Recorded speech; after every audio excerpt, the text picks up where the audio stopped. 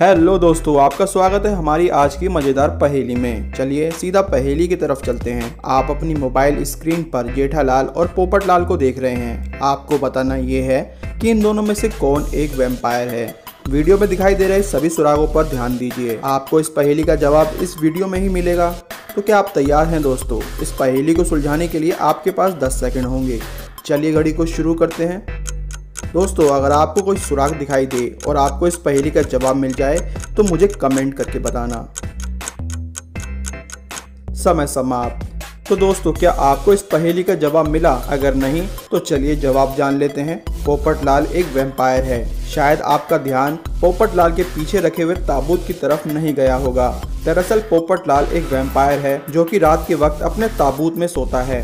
दोस्तों, अगर आपने इस पहेली को सुलझा लिया था तो आप वाकई में एक जीनियस हैं। उम्मीद है दोस्तों, आपको ये पहेली पसंद आई होगी। इसी तरह की मज़ेदार और दिमागी पहेलियों के लिए मेरे चैनल को सब्सक्राइब ज़रूर करना। इसके अलावा बेल आइकन को भी दबा लेना। आज की वीडियो में इतना ही।